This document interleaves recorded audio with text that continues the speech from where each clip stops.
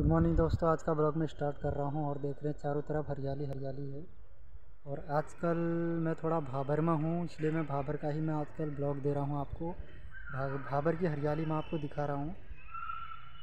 तो मेरे बैग में आप देख रहे हैं हरियाली हरियाली। तो दोस्तों, अगर आप चैनल पर नए हो तो चैनल को सब्सक्राइब करें बेल आइकन दबाएँ। आपके मनोरंजन के लिए मैं पर डे में नए नए ब्लॉग देता हूँ और आप लोग पसंद करते हैं। आपका बहुत बहुत धन्यवाद दोस्तों ब्लॉग देखने के लिए।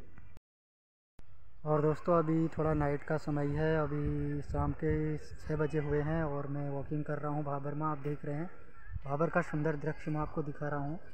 तो मॉर्निंग और नाइट में जो है वॉकिंग करनी चाहिए, जो शरीर के लिए फ़ायदेमंद होती है और आप लोग भी करते होंगे ज़रूर।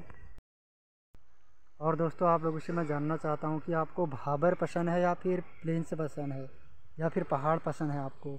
तो ज़रूर कमेंट बॉक्स में बताएँ।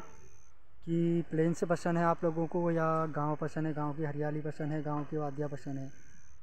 तो ब्लॉग के ज़रिए मैं जानना चाहता हूँ वीडियो के ज़रिए कि आपको गाँव अच्छा लगता है या फिर प्लेन से अच्छा लगता है।